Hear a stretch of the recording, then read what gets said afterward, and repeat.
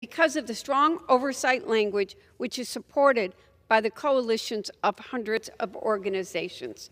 But, Mr. Speaker, I yield three minutes to the gentleman from California.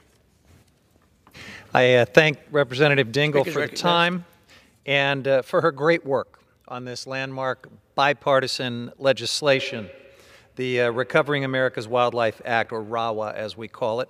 This is a bright spot amidst so many problems facing our nation. As our constituents are well aware, the climate crisis and other human impacts have dramatically harmed our nation's wildlife.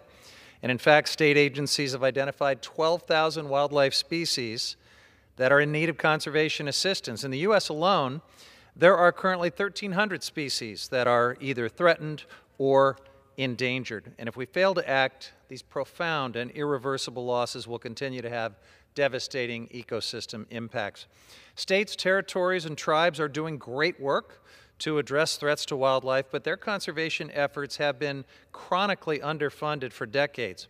This stream of dedicated funding from RAWA is a lifeline for local wildlife agencies.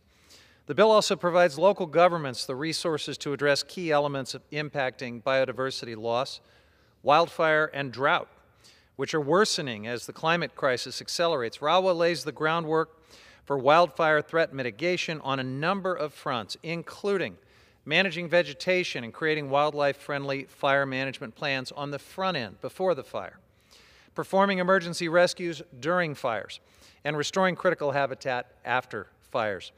RAWA funding will also allow local communities to restore habitats that have been harmed uh, by drought and protect vulnerable ecosystems from further damage because we know these drought conditions are going to continue. And we cannot lose sight of the cult- cultural implications of this legislation. The funding in this bill for tribal nations to recover fish and wildlife is critical to protecting the species that have been integral to their cultures since time immemorial. Biodiversity is declining at a rate not seen since the last mass extinction.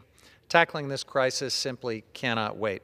As the chairman of the Water, Oceans, and Wildlife Subcommittee and the House Natural Resources Committee, I am incredibly glad to see this bill on the floor today with strong bipartisan support, 42 Republican co-sponsors and 152 Democrats. Uh, Madam Speaker, I urge all of my colleagues to vote yes, and I yield back.